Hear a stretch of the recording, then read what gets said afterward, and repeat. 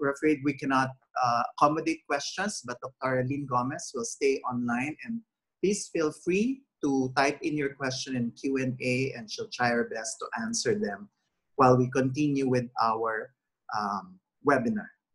So for this evening, it's quite a privilege to have uh, our speaker who uh, finished his internal medicine and nephrology training at the University of Calgary. He then completed his master's in clinical epidemiology and a research fellowship in lupus and vasculitis at the University of Cambridge, followed by a second fellowship and a PhD in health research methodology at McMaster University. With this kind of education, it is no wonder that he now serves as an assistant professor of medicine, especially in nephrology and clinical epidemiology and biostatistics. His research interests are in systemic autoimmune diseases, particularly ANCA-associated vasculitis, chronic kidney disease, and end-stage renal disease, with a focus on prospective studies and clinical trials to evaluate risk markers, understand pathophysiology, and develop effective treatment strategies. Ladies and gentlemen, please give a warm welcome to Dr. Michael Walsh. Doctor? Hello, thank you for that kind introduction. Can you hear me okay? Yes, we can hear you and you can start sharing your slides now.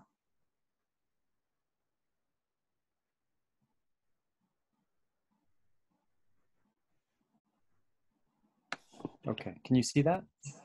Yes, we can see it. Perfect. Well, thanks very much for inviting me. Uh, I wish I could have been there in person uh, and was very sad to have to cancel this trip.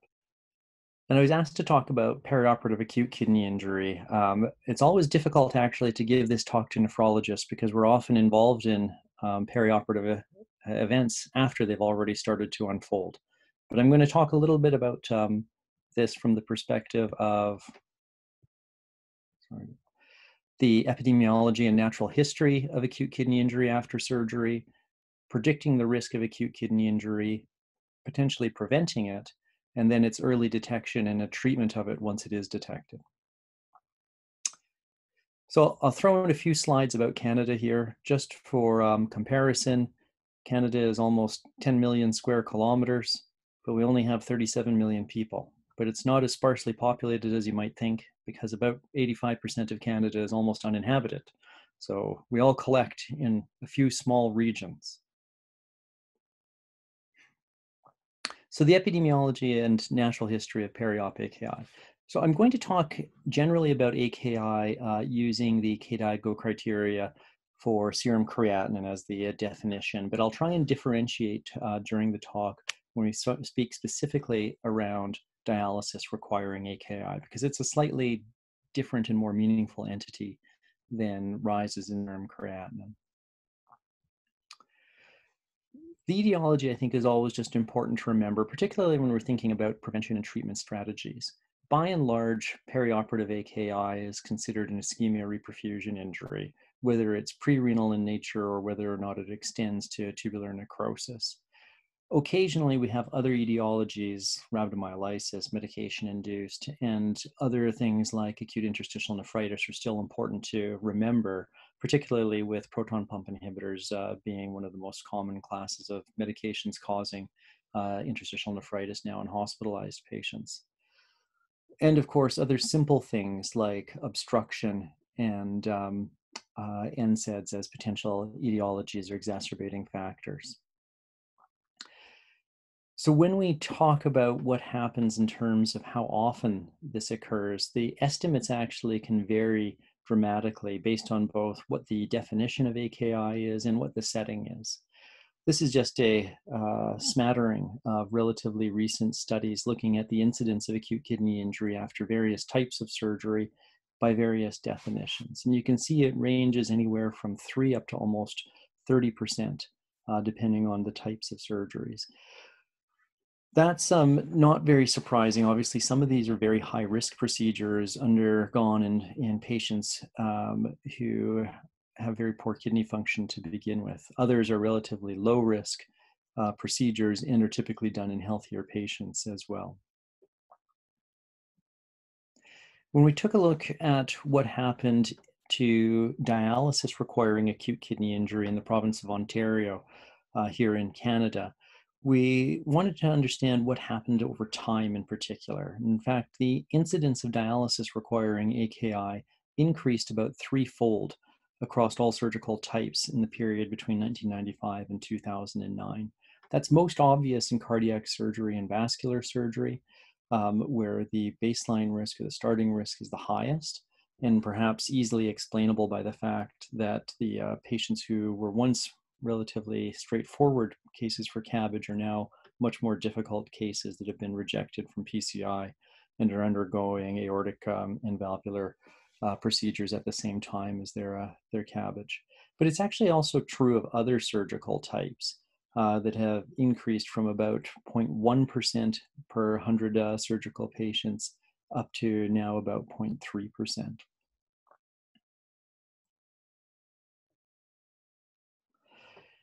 Importantly, uh, is what happens to patients after they require acute dialysis following surgery. It's uh, true that across those surgeries, if you require dialysis, the rate of death is about 42% consistently across the entire time period. So that really hasn't changed, indicating that the severity of the disease is very consistent, even though the types of patients that are undergoing surgery uh, maybe have differed dramatically over that 15 year period.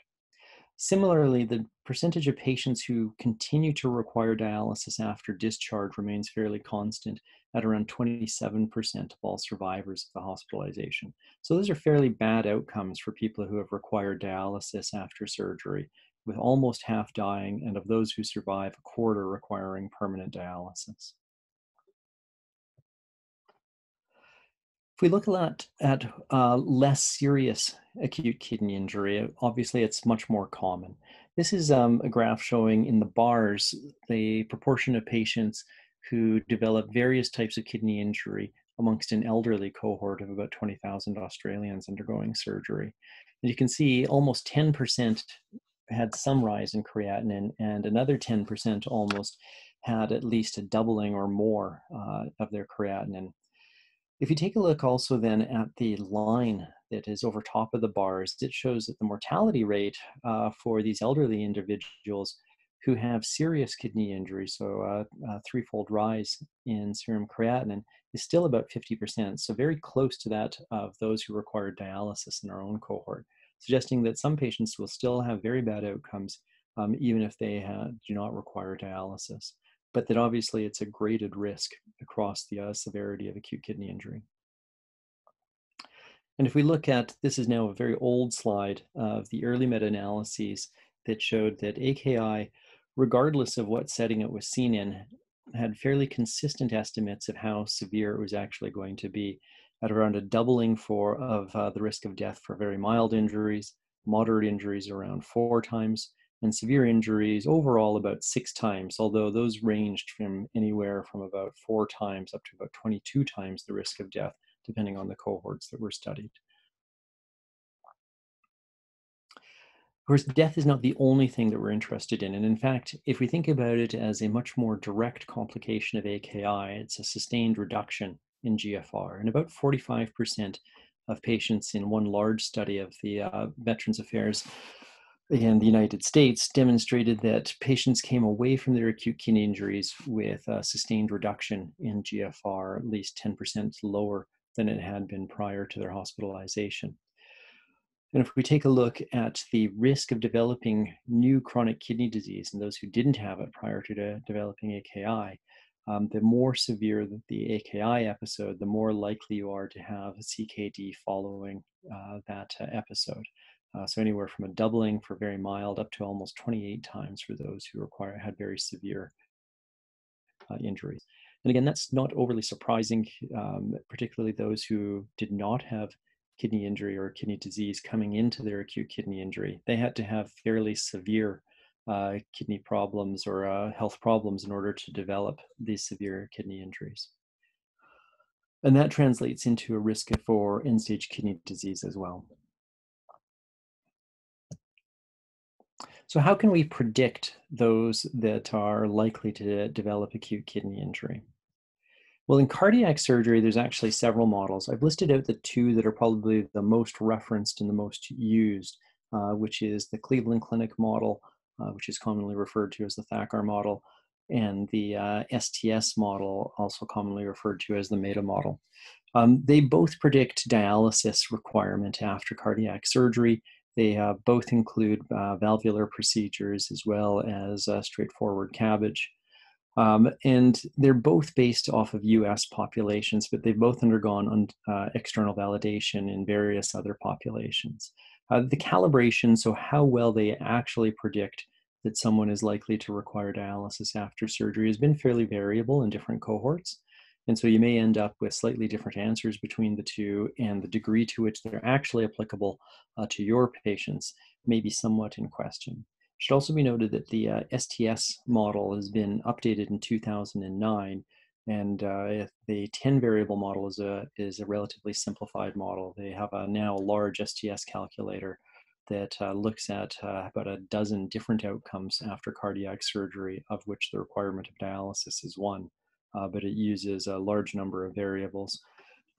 These are all easily accessible online. They have online calculators. Um, and they do help uh, gauge what the overall risk of a very serious kidney injury is after dial or after a cardiac surgery. Now, cardiac surgery is relatively uncommon compared to non cardiac surgery. Uh, in our hospital, we have about 10 times the volume of non cardiac surgery each day that we do uh, cardiac and vascular procedures. And unfortunately, non cardiac surgery, despite being more common, is not quite as well studied in terms of risk prediction. Um, this is one of the more recent publications done in 2019 by a Korean group uh, that looked at an instrument that they end up calling Spark. Um, it's a calculator that they derived from 50,000 Korean patients and validated on about 40,000 more patients, all in Korea. Um, the major risk factors, if you look at the number of points that are assigned on the right hand side, are largely attributed to uh, worse CKD uh, at the time of surgery, older age, and emergency surgery. And in fact, if we look at most surgical complications, um, at least older age and emergency surgery also show up for most uh, uh for most of their issues. So those aren't too surprising. And chronic kidney disease or low EGFR going into essentially any illness or any procedure is uh, the strongest risk factor for developing acute kidney injury. Now, theirs is, um, although they can assign a lot of different points, they basically group all of these into four categories and uh, they give a fairly rough estimate of the, uh, of the degree of risk for relatively minor chronic kidney disease afterwards, so only stage two on uh, KDOQI or sorry, KDIGO. Um, there are a bunch of other more specific calculators. Some of them have undergone um, other external validation.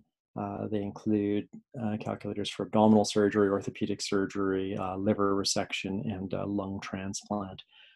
Uh, but none of them are uh, particularly broad, well validated models.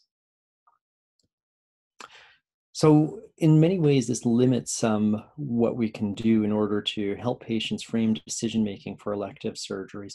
But the overall risk is still so low at around 0.1 to 0.2% um, for most surgery types that it tends to be uh, irrelevant. And the patients who are most likely to require dialysis are those that nephrologists already know quite well because they tend to have the worst kidney function heading into dialysis. One of the things, though, that is lacking is that for those patients who are high risk, uh, having preoperative risk uh, prediction may help with monitoring plans. And I think as we move through this talk, we'll make a bit of an argument that monitoring is perhaps one of the most important things that we can actually do in mitigating the, uh, the issues with the acute kidney injury after surgery.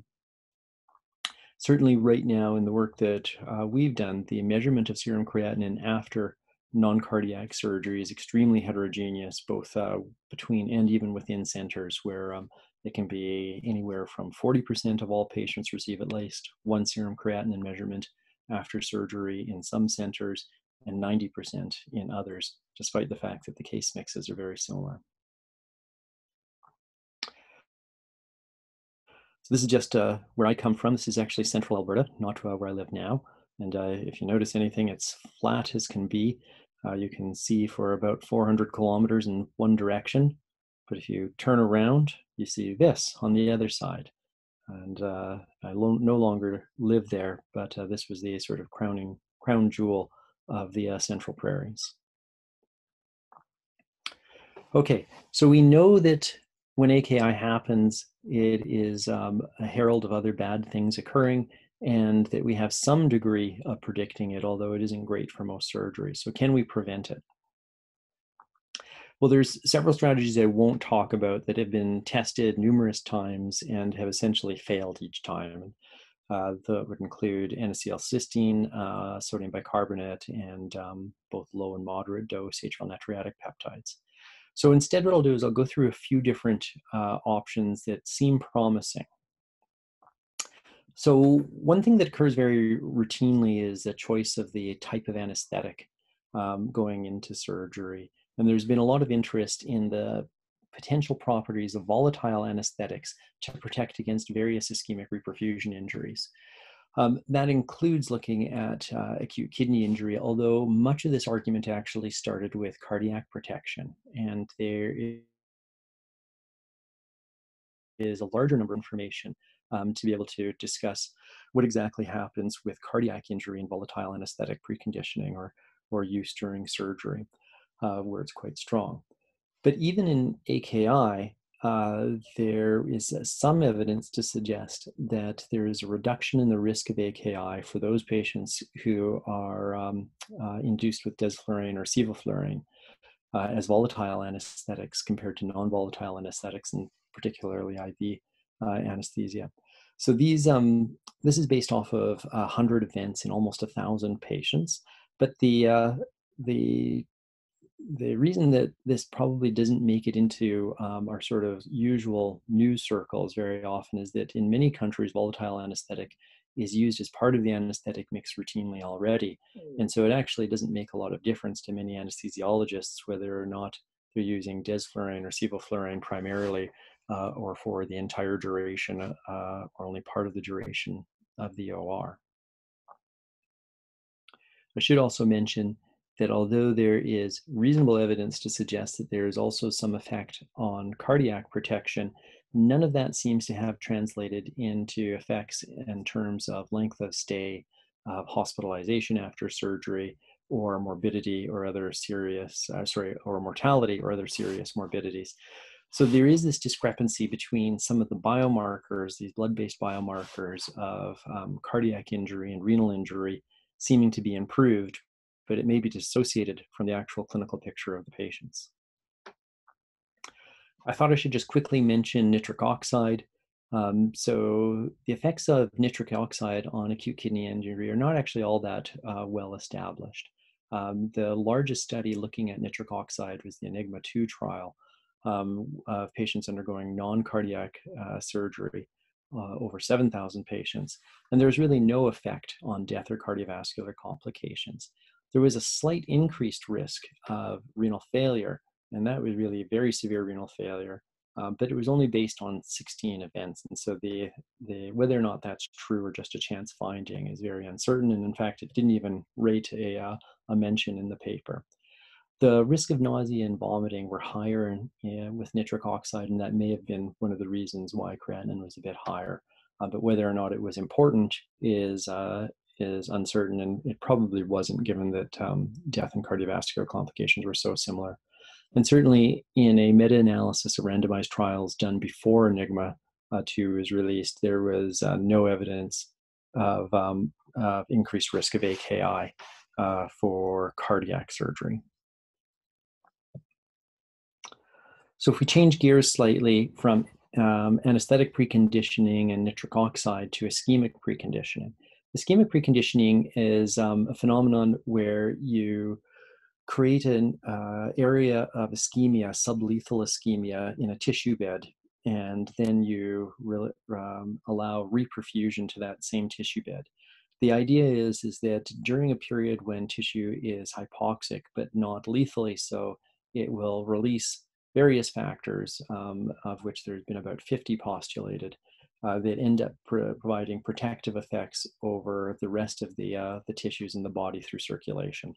And there are a number of really elegant and uh, compelling experiments in animals um, suggesting that you can make a limb ischemic and protect the heart, the kidneys, uh, the lungs, the skin, and uh, the liver uh, through this mechanism.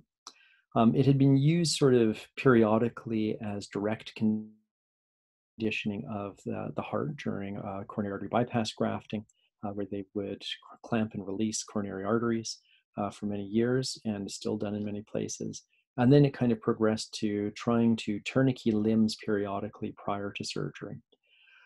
This has now been done uh, in a large number of trials. So overall, about 6,000 patients randomized. The main effect, the place where there was the um, best evidence from the previous literature uh, was in cardiovascular protection. And there, there really was not evidence of benefit. Um, so although again, the markers of cardiac injury like uh, CK and troponin uh, seem to be improved, when it came to myocardial infarctions, um, cardiac arrest, and other major cardiovascular events, there was no evidence of protection. Interestingly, acute kidney injury does still come out with a signal when it is lumped as all definitions of acute kidney injury, including undefined, uh, in clinical trials off of a large number of events, uh, uh, 15 or sorry, um, 1,400 events over almost 8,000 patients included. Um, and unfortunately, that signal kind of degrades when you take a look at uh, more specific definitions. Now, normally what we would expect is we would expect the effect to get stronger as we go to more serious um, uh, levels of AKI, but we would expect the confidence intervals to get wider. In fact, what we see in in the cumulative data so far is that in fact the effect is weaker as the more at the more serious AKI levels. The, uh, the confidence intervals are wider just because there's fewer events, but it is uh, a little bit counterintuitive as to why that would have happened, and it's eroded some of our our um, uh, trust that that was a true effect that was seen in the all definitions AKI it also it just doesn't seem quite consistent with the lack of cardiac benefit. And so I think that's another reason why this has not really caught on as a, a major protective strategy for the kidneys.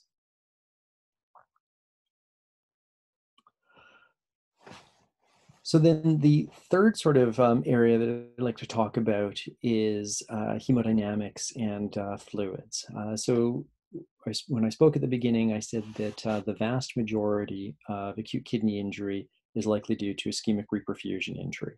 And so, of course, our major goal then in trying to prevent ischemic reperfusion injury is to prevent the ischemia component. In uh, abdominal surgery in particular, there had been a longstanding belief that by restricting fluids, um, you would encourage better healing of the abdominal wound. And so there had been a movement towards uh, increasingly strict uh, uh, restrictions of IV fluids during and after abdominal surgery. The RELIEF trial randomized 3,000 patients to either a liberal strategy, which was a fixed weight based strategy that was maintained for 24 hours um, unless there was volume overload or serious hypotension requiring additional fluids, or to a restricted strategy, which started patients off with a much reduced bolus during induction and then uh, was targeting a net zero fluid balance over the next 24 hours. That actually resulted in about a 2.4 liter difference in the IV fluid administration between the two groups um, over 24 hours.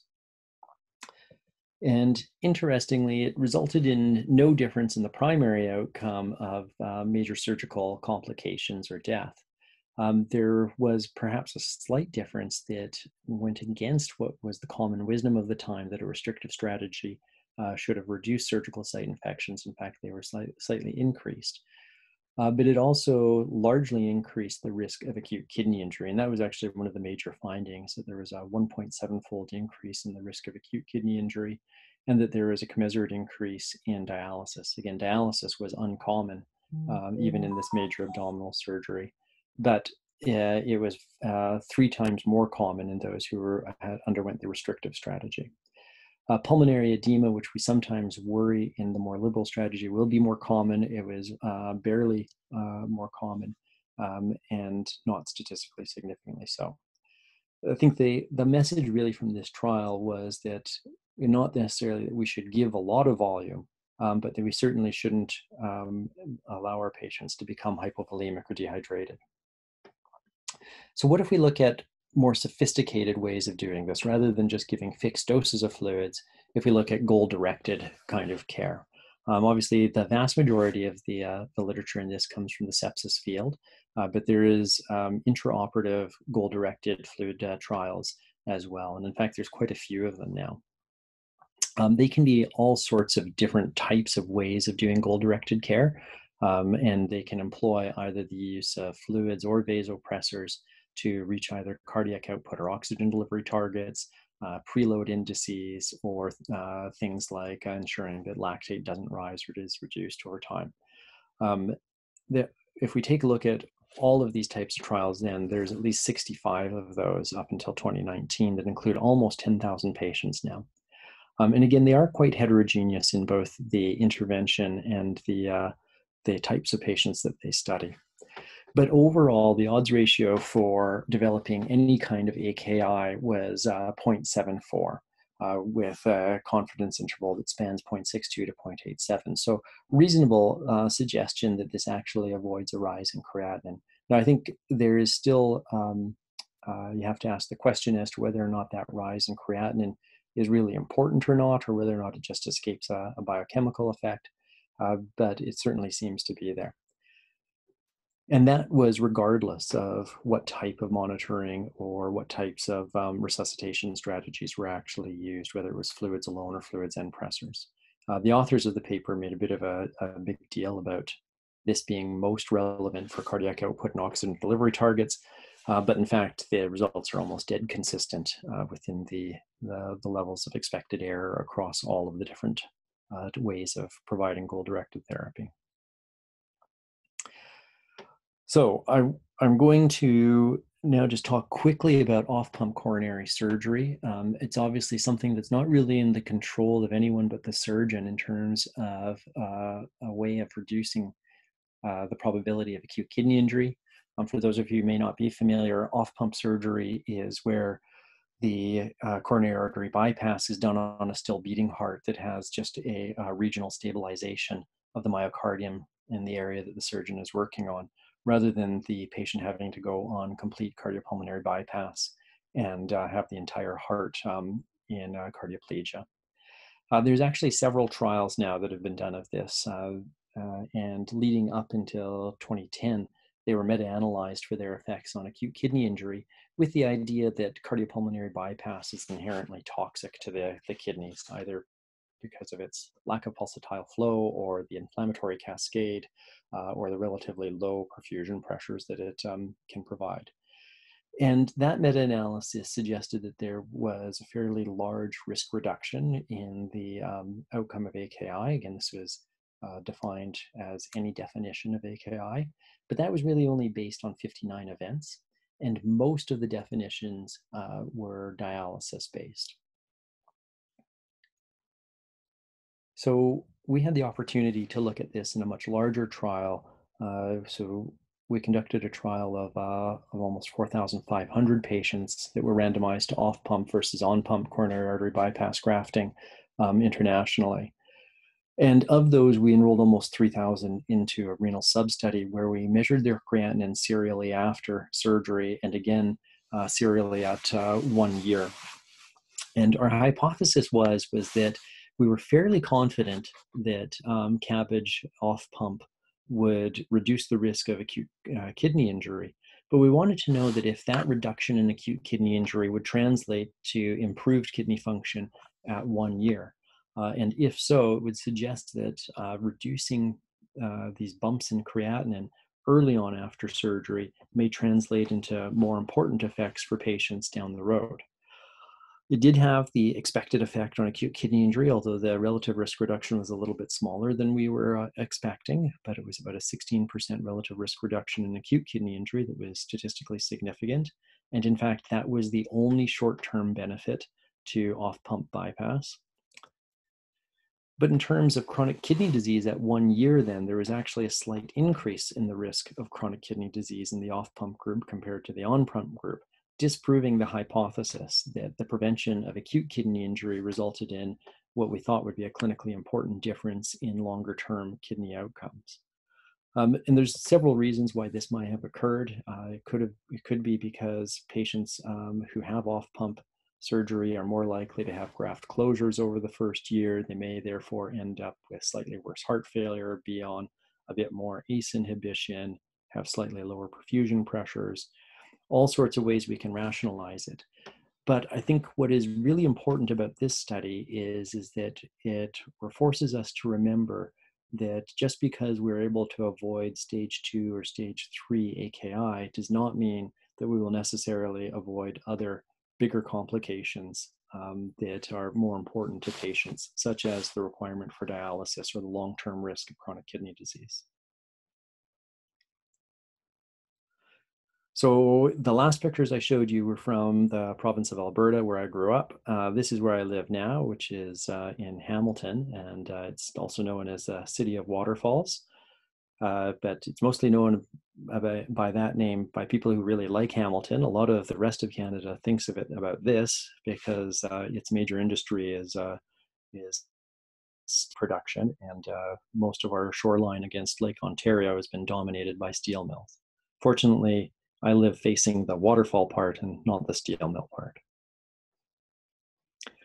Okay, so we've talked now about why AKI might be important, uh, how we can predict it, how we can potentially prevent it for those who are at risk, and then now we'll talk a little bit about actually detecting acute kidney injury. Obviously, the gold standard for detecting acute kidney injury is serum creatinine. Uh, and serum creatinine tends to peak at around two days after surgery. Uh, and just using serum creatinine, as you saw in the epidemiology part, you'll detect somewhere in the order of uh, uh 10 to 15% of patients who will have a substantive rise in serum creatinine. So are there other ways that we can do this better? Well, about a decade of research really went into looking at other biomarkers. And I've just shown um, one of the more prominent studies here, the TRIBE AKI study that was led out of Yale, that looked at about 1,500 patients undergoing cardiac surgery who had serial measurements of several biomarkers, in particular, though, were um, urinary IL-18, urinary NGAL, and plasma NGAL. And they use these to um, try and determine whether or not early measurements of urine or plasma biomarkers would predict uh, larger large rises in creatinine uh, a few days later. So whether or not they could do this better than just preoperative prediction. And indeed, it did look like urine IL-18 and plasma NGAL uh, improved clinical prediction models um, substantially. But what they didn't do is they didn't actually discriminate between patients who were likely to go on to rises in creatinine at day two and three any better than an early rise in creatinine did. And so they didn't perform really any better than uh, serum creatinine alone as long as you looked at a relatively small change in serum creatinine at a relatively early time point. And so for the most part, these uh, biomarkers haven't made much of an entry into uh, mainstream clinical medicine. And the same can be said of KIM1, which was probably the, the third most interesting marker at the time. And there's been a real decrease in the production of research around these biomarkers in general, although there was about 30 other biomarkers that were proposed and being studied around the same time as these. None of them have turned out to be all that promising. The one exception might be TIMP2 with uh, IGFBP7. Um, so this has now been um, patented as something called NephroCheck as a, uh, a combination point of care uh, test. And so these two biomarkers in combination uh, look to have a substantially better uh, performance. So in terms of discrimination, they get an area under the curve of 0.857. And that compares to most studies of other biomarkers, including creatinine, that get area under the receiver operating curves of about 0.7, 0.75, somewhere in there. So it looks substantially bigger. One of the issues, though, with um, this assay or this pair of assays is that their performance seems to degrade fairly quickly over time. So it's useful when you know when the injury uh, is likely to have happened so that you can time the, the test and get a reasonable idea of whether or not people are likely to go on to progress to have acute kidney injury, but less so later. And you can see that here, where if you measure it where you know that it's four hours from the, uh, the time of injury, it has an area under the curve on average of about 0.75. And if you take uh, a time that's 12 hours out, it's about 0.48. Um, this is a slightly different set of studies than those that gave the uh, meta-analytic um, uh, area under the curve of 0.85 in the, the previous slide. So perhaps one of the interesting things about NephroCheck, though, is, is that it's starting to be used in some clinical trials to see whether or not it can guide care. And here we really start to see the confluence of predicting um, who might get serious acute kidney injury, along with using things that are getting closer to um, uh, uh, goal provided uh, care. So this was the uh, PREV-AKI um, trial. It randomized uh, 276 patients in a single center in Germany. And the way in which it selected patients was it took most patients who were undergoing cardiac surgery and it screened them with NephroCheck. And if they had a uh, TIMP2 IGF-BP7 of greater than 0.3, they were eligible because they were at high risk for developing AKI. And so once those high risk patients were enrolled, they were randomized to either go into a group in which they uh, had a conscientious kind of KDIGO care bundle, which included discontinuation of nephrotoxins, uh, holding the ACE inhibitors, and importantly, optimizing volume and perfusion pressures using a, um, a special enhanced monitor called the PiCCO and they would have their creatinine monitored uh, and urine output. They avoided hyperglycemia and they would avoid radio contrast. The control group, on the other hand, was just usual care, which was still um, typically having their creatinine measured and their urine output measured, but they may or may not hold the ACE inhibitors, and they wouldn't use any special monitoring in order to try and optimize volume and perfusion pressures. And that trial led to actually a remarkable reduction in even um, stage two, three um, AKI with a very significant p-value and an almost 20% reduction. You'll notice that the overall rates of AKI here are very, very high at 72% uh, in the control group. And that should be a function of the, um, uh, the selection of patients with the, uh, the high NephroCheck uh, uh, ratios at the beginning. Now, I should mention that this trial has not been replicated in other groups. In fact, the only other trial that I know of that has tried uh, was not able to replicate the results, although it was a very small trial, and so it was likely underpowered. Um, but other interventions that have come out of this same center in Germany have also not been replicatable, although they all seem to have worked here. And that includes things like um, the remote ischemic preconditioning, which was successful in this group, but really largely unsuccessful in all larger trials that were done in, uh, other centers.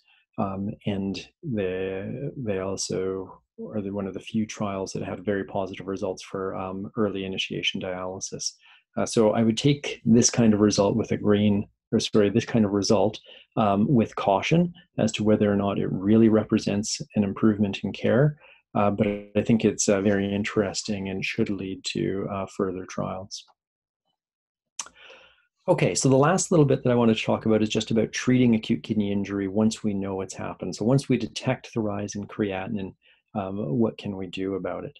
Uh, and the honest answer is there isn't a lot. So there's nothing really to talk about in terms of pharmacologic therapies. Uh, there are no pills. And again, I think that very much gets back to the idea that this is an ischemic reperfusion injury that occurs. And most of what we need to do is probably turn off the ischemic injury and then carefully monitor people for the complications of the ischemic injury that they, uh, they suffered. So what then is probably why it has um, been of such interest to do things like enhanced monitoring. Um, and e-alerts has been uh, for acute kidney injury has been really one of the, uh, the, sort of poster children of the ways in which we use um, hospital informatics systems in more complicated and interesting ways. And so these e-alerts essentially uh, tie into the biochemistry departments of hospitals. And every time a creatinine starts to rise, they have a way of contacting the responsible clinicians and or contacting the nephrologists in order to tell them that this patient has this change in their serum creatinine that indicates uh, acute kidney injury and that something should be done about it. Um, there is several studies that were done. I've chosen this one in particular because it's a fairly large uh, cluster uh, um, stepped wedge trial that was done in the UK, where the e-alert system has been now become part of the national um, quality assurance uh, program. And so what they did is they measured the rates of AKI progression and mortality and uh, um, uh, the ways in which AKI was managed prior to implementing this electronic automatic trigger that would tell their clinicians to go through a process of um, looking at the fluids and uh, the volume status medications and testing that was being done on patients who had creatinines that were elevated. And I should mention that those e-alerts don't tell people to measure creatinines, they only react to the creatinines that were already measured. Um, and so the, it doesn't tell you how much AKI you were missing. It only tells you that you should deal with the AKI that you've already detected because you thought enough to actually measure a creatinine in the first place. Now, when they did this, they didn't find any difference in mortality. And honestly, I don't think that's very surprising because the overall contribution of AKI to mortality uh, in the hospital is relatively low. And this is not restricted to surgery, but a large number of these patients would have been surgical patients as well. Um, they also didn't see any difference in AKI progression, meaning that the rate of the uh, rise of creatinine or the, the total um, stage of creatinine that people got to didn't really change after the intervention. What they did notice that for those with AKI, there was a shorter length of stay, and they noticed that the incidence of AKI was increased. And I would suggest that that means that, in fact, as the, the prompt was rolled out, clinicians were likely to become more attuned to the fact that AKI occurs, and they're likely to order more creatinines in general, not just in the, uh, the patients who are already getting them. And so they detected more AKI, but it was less serious AKI, which would explain why the length of stay for patients with AKI was shorter. It's because now the, uh, the overall population was diluted with a less ill set of patients. In terms of processes, they did note that when they sent out these e-alerts, uh, there was an increased number of assessments of um, the fluid status and the medications received by patients uh, who had AKI, and there was more urinalyses performed. It does not say, and they can't tell from their data, whether or not that means that it was more appropriate care or whether or not changes were made that actually were likely to help. Uh, and I have a tough time understanding uh, for many of the hospitalized patients whether or not urinalyses performed after the AKI sets in really would have helped. Um, certainly not in the uh, the surgical patients, uh, but this kind of the, the issue that we actually don't have great treatments um, for many of the causes of AKI may make the e alerts relatively um, small effects. The last little thing that I wanted to talk about then was just early versus late dialysis, partly because um, this has always been a very hot topic, and it's often uh, when the nephrologists in our hospital, at least, become most involved uh, with acute kidney injury. Um, and it's very timely because the STARRT-AKI trial was just published uh, the other week in the New England Journal of Medicine. And of course, I'm excessively proud of it because uh, several of my, my good colleagues here in Canada are the ones who started the trial. So they randomized uh, 3,019 patients uh, who were admitted to the ICU. About a thousand of those patients were post-operative ICU admissions, um, so a reasonably large number. Uh, all of those patients uh, who were potentially eligible had doubling of creatinine um, and had to have at least abnormal creatinine levels. So you couldn't go from uh, creatinine of 45 micromolar to 90 micromolar. Uh, you had to actually go above 100 for females and above 130 for men. And uh, those individuals were then randomized to either start dialysis within 12 hours or when it was clinically indicated.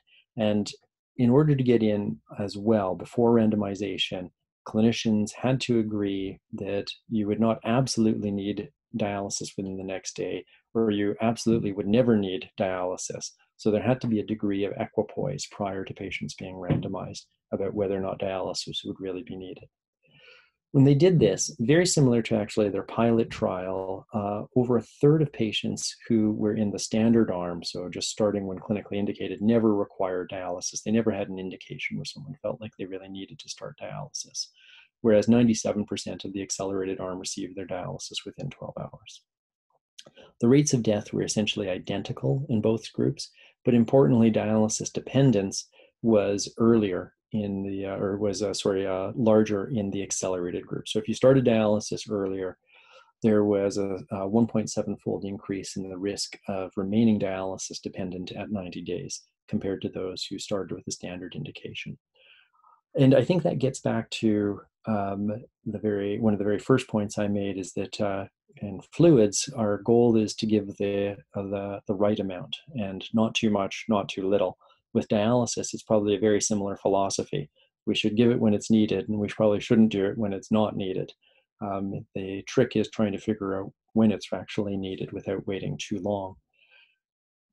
And again, this is also probably not that surprising um, in that the role after AKI has started is really to turn off the initiating issue, which is typically some kind of ischemic reperfusion injury, and then to monitor for complications. Uh, and that's exactly what a, a standard um, start to dialysis does. So with that, a few conclusions. So AKI is clearly really strongly associated with developing chronic kidney disease and mortality, but so far strategies to prevent AKI have not, even the successful strategies preventing AKI have not demonstrated any kind of longer term benefit or a reduction in mortality. Some of that is an issue of power, but some of that may actually just be that um, much of the AKI that we see as rises in creatinine is not all that important, and so reducing it may not result may not be expected to result in anything clinically important. Regardless, the need for dialysis after surgery is uh, clearly important, and I think it's important that we remember when we're uh, talking to patients about what happens to them once they require dialysis is that 40% uh, will likely not leave the hospital alive, and of those who do survive, the uh, 25% are likely to remain on permanent dialysis. Um, risk prediction, well established for cardiac surgery, which allows us to really talk about uh, the, the, consequences of cardiac surgery in an informed way, uh, but we don't have that same kind of um, ability in non cardiac surgery yet. Uh, preventative strategies uh, with preconditioning, goal directed care are all very interesting. The inconsistency in the data uh, is somewhat um, concerning, and the fact that most of these studies don't have large pivotal RCTs to support them, where we think that the evidence is so clear cut that uh, we no longer have to rely on meta analyses of many small trials, is still missing. Early detection looks like it's a good way of helping. Uh, it's not clear that it's any better detecting early, though, with uh, biomarkers than it is with uh, routine creatinine. And, uh, but they do present a new strategy to incorporate into care. And volume management and ensuring good perfusion, uh, as well as discontinuing nephrotoxins, is likely a good idea no matter what, um, but especially after early AKI has been detected, because it's already told you that the ischemic injury has had an end organ effect. With that, again, I'd like to just say thank you again to the organizers, and I'm happy to take questions. Thank you very much, uh, Professor Michael Walsh. Um, that was a very uh, interesting and complete lecture. Um, Post-surgical AKI or perioperative acute kidney injury is one topic that is actually contained in one textbook. And we appreciate it a lot that you were able to manage to talk about it in about 30 to 40 minutes. And I think we have a lot of questions um, from our attendees. Um, the first question actually, um, I have a request here, Professor, if you could turn on your camera during this Q&A, if you don't mind. All right, but I'll warn you, I'm uh, in full COVID mode and I'm post-call, so I'm sitting in my... we'll be interested to look at you. Okay, uh, you could... There? There okay, perfect. All right, so I'll read the first question. Um, you mentioned this a while ago that biomarkers may have a an important role in predicting the uh, high risk level of somebody who would develop acute kidney injury. Uh, you mentioned about tissue uh, MP or tissue metalloproteinase, but it's not actually available in the Philippines. What we have here is um, urine NGAL and cystatin C. You have uh, information on these two uh, uh, biomarkers in terms of predicting postoperative acute kidney injury? Yeah, so urinary NGAL really doesn't outperform small rises in serum creatinine. Um, and so there's probably not a huge role for it. Uh, not unexpectedly, it is, uh, it is a um, tubular injury marker. And so it does provide something slightly different than the filtration markers. Um, but in terms of uh, figuring out whether or not the patient in front of you is more likely to have a really large rise in creatinine or require dialysis, it probably doesn't do any better than a 50% rise in serum creatinine uh, the day after surgery or the day after um, uh, becoming ill.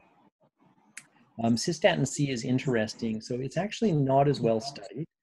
The uh, performance of it looks like it's similar to uh, serum creatinine. Uh, but intriguingly, it may just some of the studies are, are, too small still to be able to determine whether or not it has better discrimination. Uh, certainly, the more recent work in chronic kidney disease suggesting that, uh, particularly in patients who are near the top end of, um, of estimated GFR, going uh, or, or, or, sorry, will have better risk prediction using cystatin C than using serum creatinine is intriguing, and we have some data now that should be coming out on it, uh, hopefully over the next year or so. Okay, that, that would be very interesting. Okay, speaking of biomarkers, uh, you also talk about risk prediction scoring. Have you, what is your experience of combining the risk prediction scoring and the presence of biomarkers in terms of your predicting postoperative AKI and in terms of improving your management, in terms of preventing it? Yeah, um, so interestingly, there isn't a lot of, of really good studies uh, looking at the incremental benefits of newer things like NephroCheck. So they mostly look at improvement in discrimination. Uh, and I would suggest that actually improved discrimination is a very low bar to set for whether or not there's clinical utility in most of these tests. Uh, what we're really interested in is better calibration. Does it actually tell us which what the risk is for an individual, not just whether or not they're at higher or lower risk, but what is the actual risk. Um, in studies where we looked at calibration, where we've added preoperative uh, characteristics to intraoperative characteristics and early postoperative characteristics, most of the um, of the risk is actually conveyed in the preoperative characteristics and the understanding of what the surgery is the incremental benefit of intraoperative hypotension, uh, intraoperative bleeding, although they are themselves really interesting as therapeutic targets and they come out as significant predictors, they actually don't add a whole lot to the, our ability to tell who's likely to get acute kidney injury.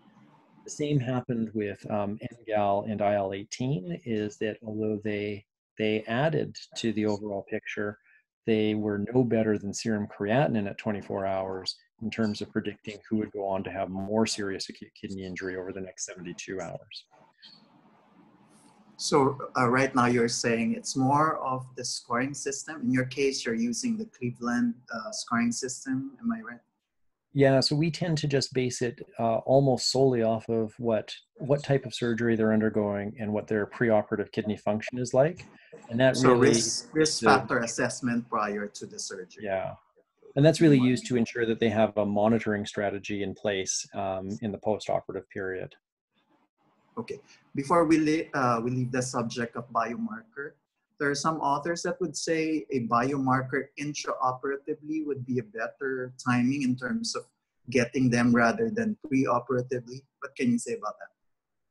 Yeah, so the um, I think it's always been considered the holy grail that we have an extremely early biomarker that happens within two hours.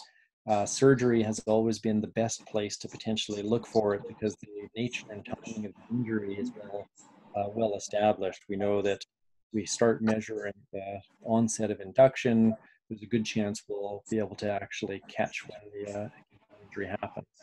Um, so far that hasn't played out that well. Uh, and it might just be that we actually don't have therapies yet.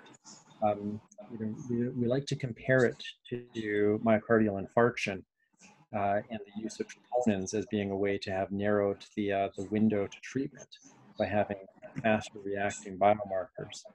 Uh, but in kidney injury, the difference is, that we don't have um, PCI or or uh, thrombolysis as an effective therapy to act on. So we're really still stuck with trying to optimize hemodynamics.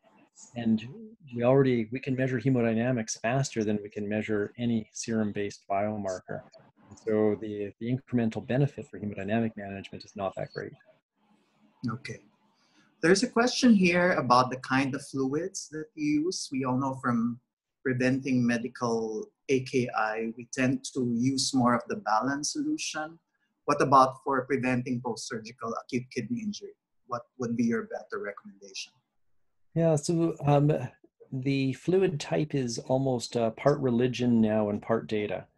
The um, the depending on which hospital I'm practicing in, the religion goes very heavily towards balanced fluids uh, or uh, albumin colloid.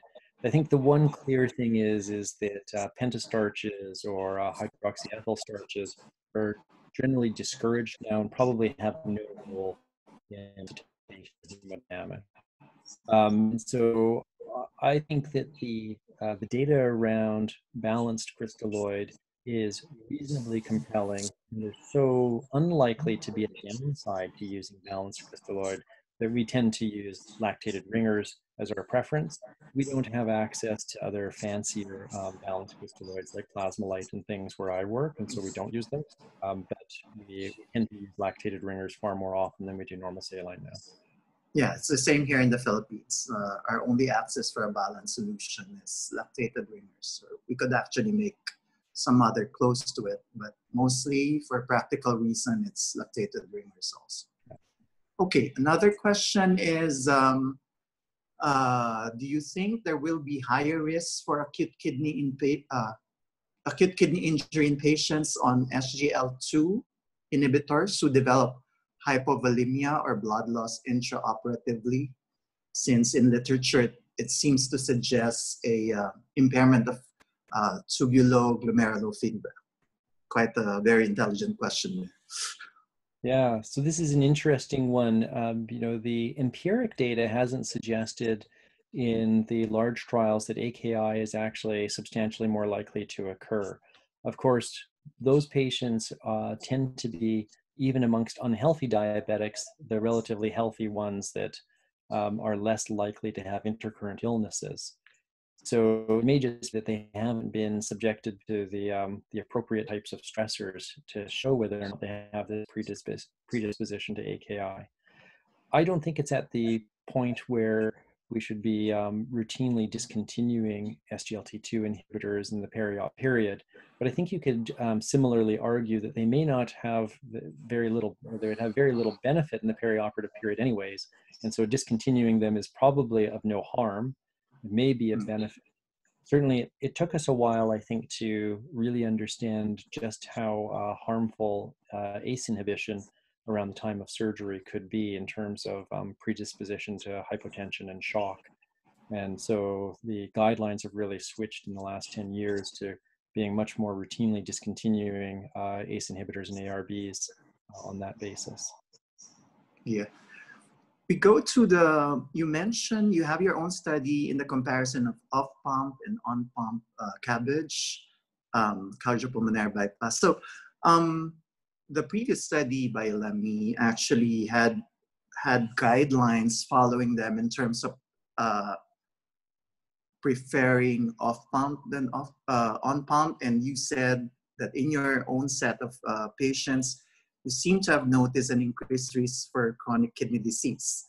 Um, I noticed for Lamy, it's an uh, it's an off pump, and they also have an increased risk for on pump for respiratory infections and um, uh, increased uh, risk for reperfusion. What about in your group of patients? Did you see those outcomes as well? So they're, they're the same studies. Uh, Andre Lamy is the uh, the cardiac surgeon who led CORONARY, which Okay. is where the AKI study comes from. So, but you would so you would still recommend an an off pump rather than an on pump surgery. So the the way that we phrased most of it was is that it uh, the well so the chronic kidney disease component came out about uh, a year and a half after the early results from CORONARY, which was when Okay. the uh, the guidelines were first written. The, I think the chronic kidney disease component is is really people decided that that wasn't as important as the short term differences but large, largely in our center, it really still seems to be up to a surgeon preference, which is still based off of whether or not there's a lot of aortic vascular calcification, rather than whether or not there are other specific benefits um, to to off pump. It really seems to be left to the technical details of whether or not they feel they would have a uh, tough time with the cross clamp. Correct. Um, the speaker before you, Dr. Arlene Gomez, would like to ask her question. Dr. Arlene? Yes, uh, thank you very much, Professor Walsh.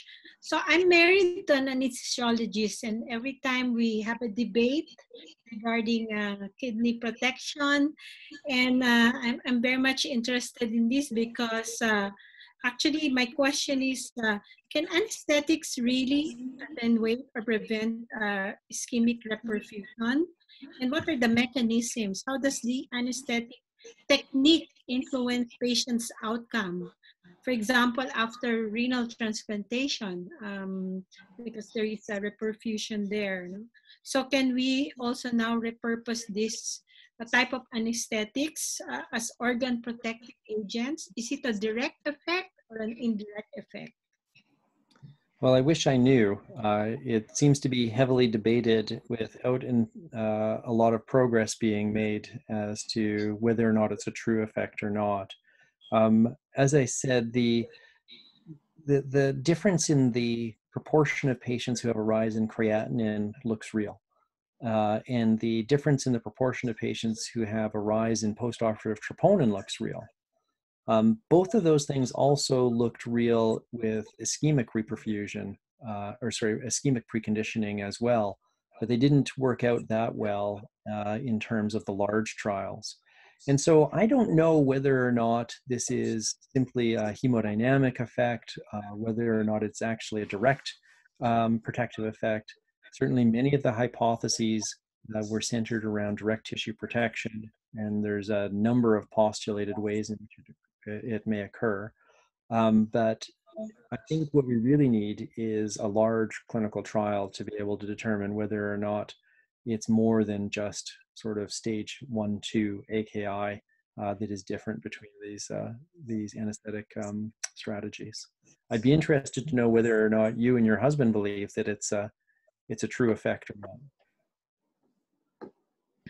Well, I try to influence him sometimes on what anesthetic technique to use, and I try to shy away from those that will have uh, so many effects on, the, for example, blood pressure.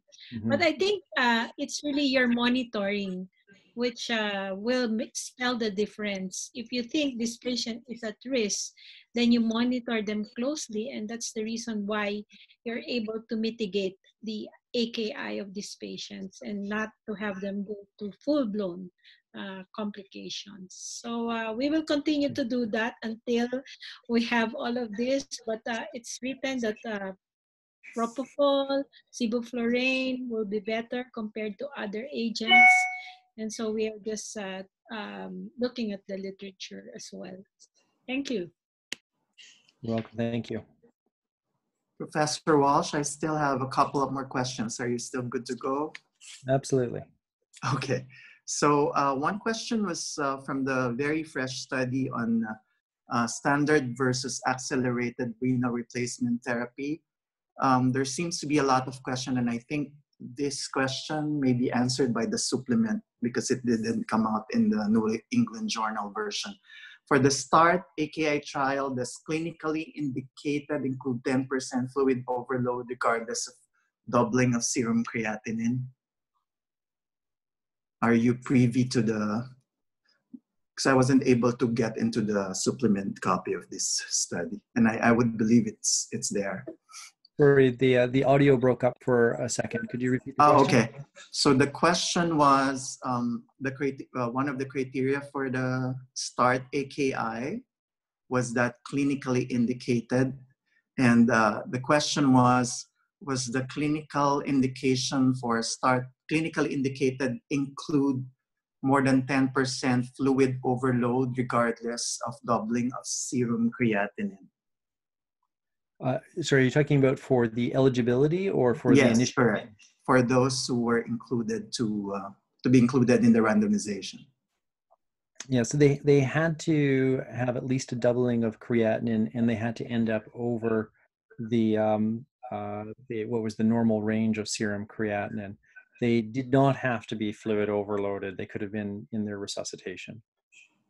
Yes, I think the rule there was there should be an equivocality in terms of you know whether the patient would need emergency or a delayed in dialysis so there should be no obvious preference of an emergency or a delayed dialysis to be included in that right? exactly it was very much left up to clinician discretion as to whether Correct. or not they felt uh, and there was um, regionally there was some fairly large differences as i recall about the proportion of patients who were um, were being started on dialysis. So 60% overall in the standard arm, uh, but in some places that was quite a bit lower. In some places it was quite a bit higher. Yeah, but what's most um, stunning for me was the fact that a lot of them in uh, in 90 days would have uh, renal replacement therapy dependent for those who dialyzed early, which just mm-hmm. gives us an idea that you know deferment of dialysis for this group of patients post-surgical AKI would be a better rule than you know dialyzing them earlier. Yeah, I think um, uh, as a general rule of thumb, extracorporeal therapies are not good for people, and if you can get by without them, you probably should try and get by without them. Okay, so this is uh, um, um uh, a question that actually comes out most of the time. What about statins? Do they have role pre-operatively or intraoperatively when given to prevent post-surgical acute kidney injury? Great question. I specifically avoided trying to answer that during the talk. confusing. Yes. Um, so the observational data is incredibly mixed. Um, we had many arguments in the, the perioperative trials um, groups about whether or not it was rational to think that the acute administration of statins uh, would actually make a difference. And certainly there was work by the Dutch group that suggested it did, but that work was later retracted as having been potentially fraudulent. And so then we ended up with a group of trials where there were they were all very small, um, and they, as you probably know, some were stopped early for potential harm, it was unrealistic to think that it was actually due to the, the statin therapy. And so I think we're still in a position where we really don't know. Um, the evidence is too confusing, too mixed, and uh, there is no overall clear direction. Uh, so it is another area that really was looking for a large trial, and the, one of the ones that we were considering doing, but it got dropped in favor of, um, of uh, hemodynamic optimization instead for our most recent one. So the jury is out on the use of stat. Yeah, and I think it's going to be a very difficult one to answer, largely because statins are already in such widespread use that the randomization of patients to statins or to statins specifically um, becomes actually problematic. Yeah. I think you presented the study here about the KDIGO bundle of care in preventing uh, post of AKI. So, um, do you follow that in your practice? I think not at all. we um I think you know we consider most of the components of the uh, the bundle care to be just part of good clinical practice, anyways. But we don't have a prompting system to be able to remind us of what we're supposed to do. Um, and I, you know, I would consider it's probably more of an issue for our surgical teams that are rounding. Um, that they they seem to have a very you know reasonable threshold for consulting internal medicine exactly.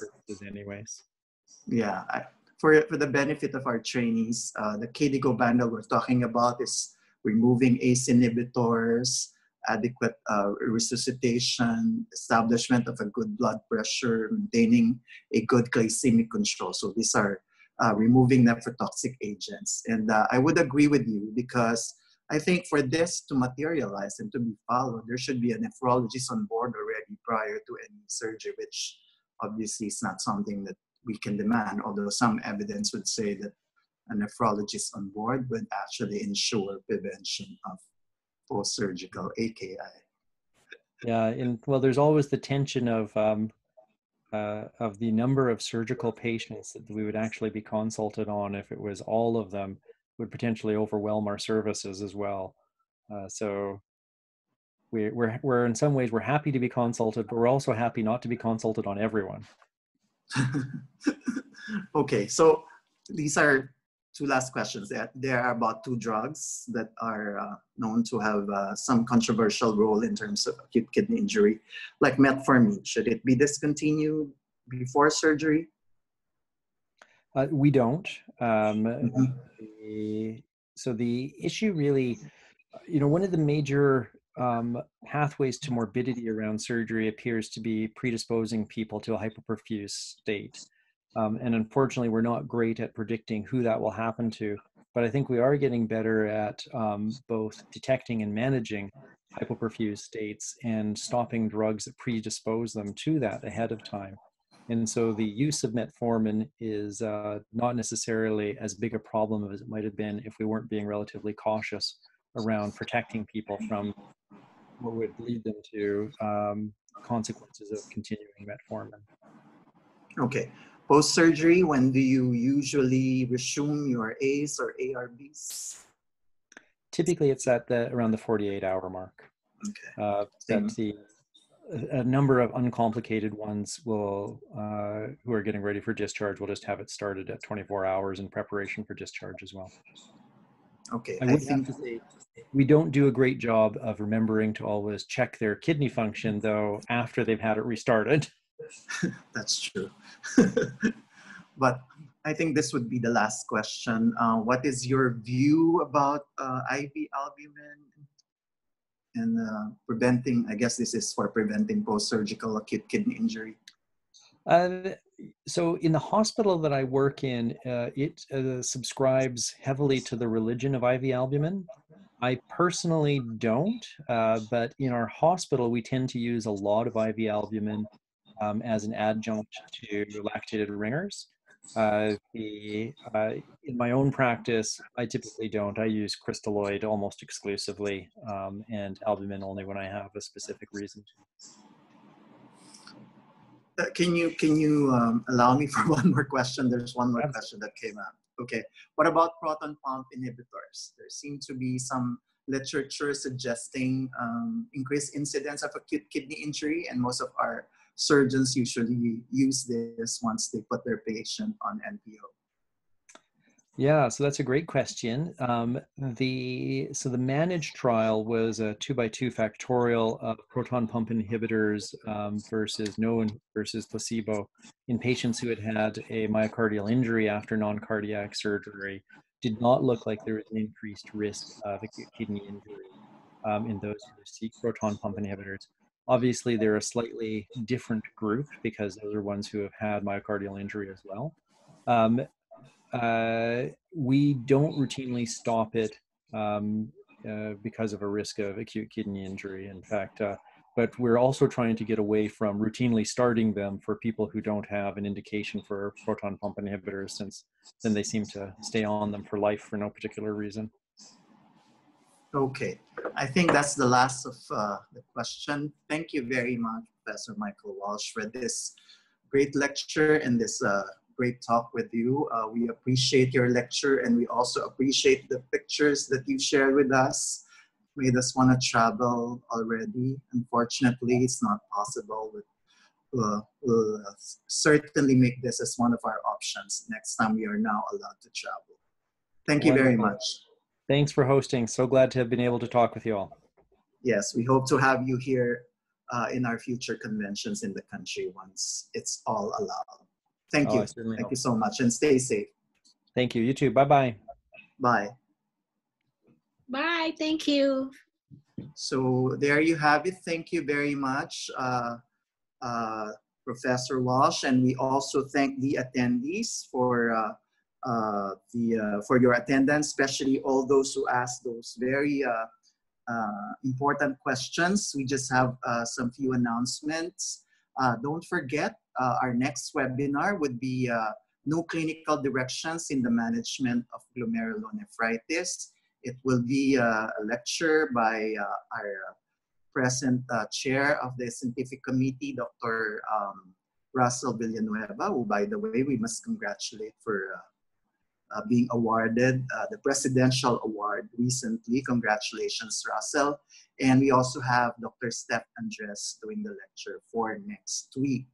And again, we would like to remind you to please uh, continue attending um, our uh, webinars because this is actually part of uh, your consideration in terms of your active membership to the society. And uh, Dr. Birwar would like me to remind you that our 50th uh, commemorative watch for PSN is still available and you can still order by uh, um, through PSN office or through uh, our secretary Rael.